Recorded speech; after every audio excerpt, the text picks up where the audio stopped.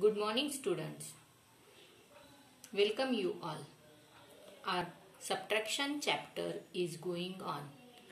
Last session we learned subtracting two digit number from a two digit numbers and today we are going to learn subtracting facts. What is meant by subtracting facts? Means if we subtract 0 from a number, the difference is the number itself. Let's see with the example. Here is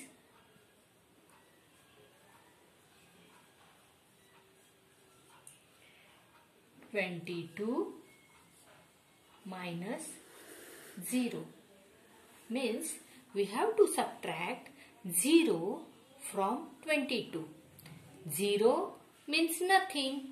So 22 minus 0 the answer is 22. Let's see another example. Here 54 minus 0. We have to subtract 0 from 54 means subtract nothing from 54. So, we get answer 54.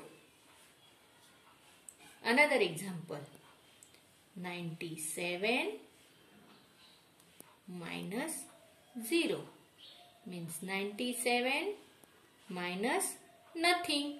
Tell me what will be the answer? Yes, answer will be the number itself means 97 is the answer. So, if we subtract 0 from a number, the difference, this difference is the number itself. Means 22 minus 0, answer is 22.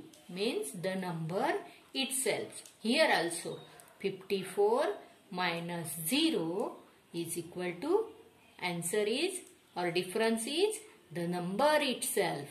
Here also 97 minus 0 is equal to difference is the number itself means the same number.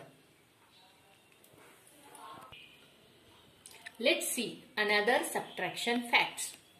If a number is subtracted from itself the difference is always 0.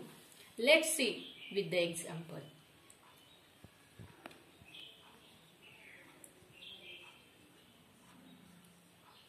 Here 29 minus 29 same number. Now tell me the answer 29 minus 29 is equal to 0. A number is subtracted from itself. Means same number subtracted itself we get answer 0. Let's see another example.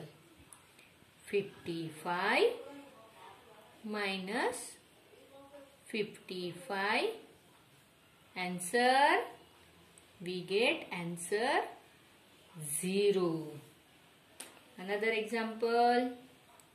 70 minus 70 is equal to 0 means if a number is subtracted from itself the difference is always 0.